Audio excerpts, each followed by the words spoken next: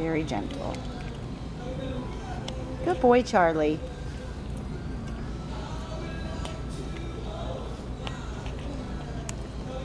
So we're at Bark.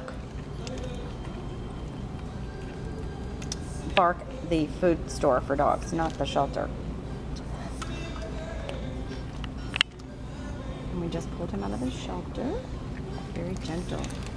Charlie, you being a good boy? He's so gentle. We came to stop and get him a treat.